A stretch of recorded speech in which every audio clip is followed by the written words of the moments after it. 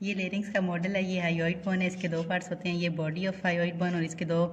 जो है वो हॉर्न्स होते हैं, ये लेसर हॉर्न है और ये ग्रेटर हॉर्न है। फिर थायराइड कार्टिलेज है, ये वाला, इसके दो लेमिना होते हैं, दोनों मिड लाइनें फ्यूज़ करके बनाते हैं लेरेंजियल प्रोमिनेंस और इसके ऊपर जो नोच बनती है वो लेरेंजियल नोच सुपीरियर थायराइड नोच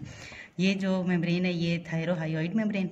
अब जो हाई ये थायराइड कार्टिलेज है, इसके दो कॉर्नुआ होते हैं, एक सुपीरियर कॉर्नुआ और एक इन्फीरियर कॉर्नुआ जो इन्फीरियर कॉर्नुआ है ना, इसके फिर ऊपर एक और ये लिगा, नहीं कार्टिलेज होता है, उसे बोलते हैं ट्राइटिशियल कार्टिलेज। और ये इसमें के दरमियान जो लिगामेंट होगा, वो थायरो हाइड लिगामेंट होगा। फिर ये क्रिकॉइड कार्टिलेज है रिंग शेप्ड होता है, इसके दरमियान और थायराइड के दरमियान जो मेम्ब्रेन होगी, वो थायरो क्रिको थायराइड मेम्ब्रेन और इसका जो लेमिना होता है ना, वो पोस्टीरियरली होता है और इसकी आर जो है, वो एंटीरियरली होती है। फिर इसके बाद ट्रेकिया आता है तो हम फिर क्रिकोइड और ट्रेकिया के दरमियान जो मेम्ब्रेन होगी, वो क्रिको ट्रेकियल मेम्ब्रेन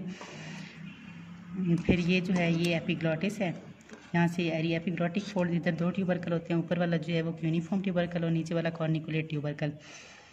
और ये जो यहाँ पे तीन मसल्स हैं, ऊपर और नीचे वाला जो है वो ऑब्लिक रेटिनोइड मसल्स और नीचे, दरमियान वाला जो है वो ट्रांसफर्स रेटिनोइड मसल ये प्रोस्टीरियर क्रिको रेटिनोइड मसल ये जो है ना, ये थायरोहाइड मसल है which is a part of inferior pharyngeal constrictor muscle और ये क्रिको थायरॉइड मसल इसके दो पार्ट्स होते हैं, एक एंटीरियर और एक पोस्टीरियर एंटीरियर वाला जो है वो स्ट्रेट होता है और पोस्टीरियर वाला जो है वो ब्लीक होता है. ये थायरॉइड ग्लैंड है, इसका ये राइट लोब है और ये इस्तमस होता है थायरॉइड ग्लैंड फिर ये जो है ना, ये सुपीरियर लेरेंजियल नर्व और सुपीरियर लेरेंजियल आर्टरी फिर ये दो ब्रांच देगी, एक इंटरनल और एक्सटर्नल ये सुपीरियर थायराइड आर्टरी है, जो सुपीरियर थायराइड ऊपर से सप्लाई करेगी थायराइड ग्लैंड को. ये फेरेंजियल रिसेस